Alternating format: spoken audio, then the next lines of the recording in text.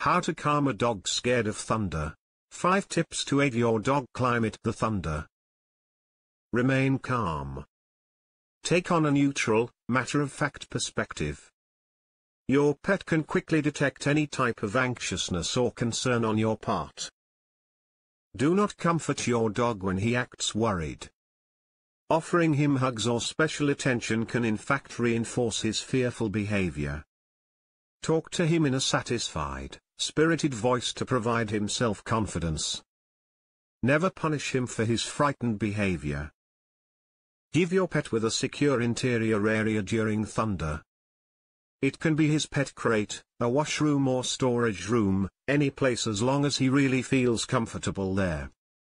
If you have actually assigned risk-free indoor space for your pet, be sure to leave the door open so that he doesn't really feel caught. Start playing some music on extremely low volume while you set about your day-to-day -day tasks.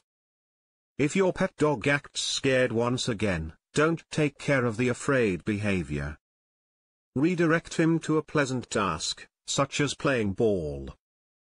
Gradually increase the volume up until your pooch can manage reasonable well on the thunder sound.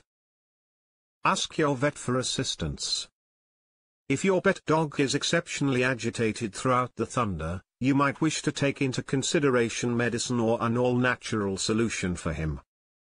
Your vet can aid with this, if he or she assumes it's a proper option. Don't forget to like our video.